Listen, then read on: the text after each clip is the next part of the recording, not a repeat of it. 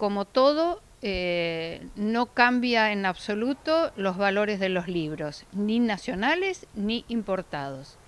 Los libros importados son caros, pero no tienen tanto uso, por lo menos en Comodoro.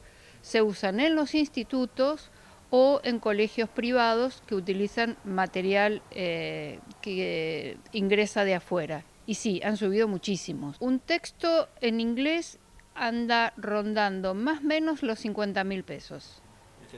y, normalmente se llevan, claro, se llevan a veces dos o tres manuales, uno de práctica, uno de, clases. En general ya no viene tanto el libro dividido, sino que en un libro eh, tienen ambas, ambas cosas. Sí, necesitan más libros porque utilizan a veces por áreas, sobre todo los años eh, del secundario, eh, tienen un libro de geografía, un libro de historia en inglés, aparte de lo que es el idioma, el, libro del idioma. Entonces, eh, es suma. En ese caso son institutos privados que tienen eh, cada una de las materias en, bilingües, ¿no? Hablando colegios bilingües, exacto. ¿Y cuánto pueden, puede dar, por ejemplo, el gasto que tenga que hacer un padre en un, en un colegio de, ese tipo?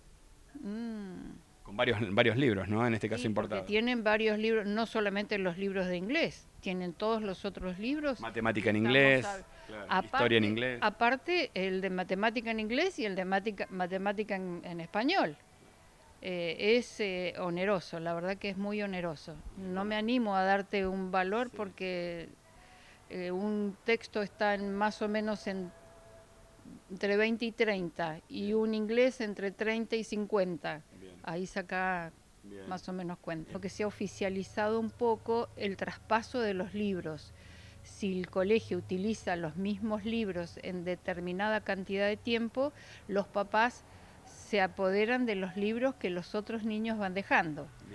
Pero igual eh, estamos por un promedio de 5 o 6 mil pesos una novela, un libro de lectura para, para los chicos de primario y de secundario.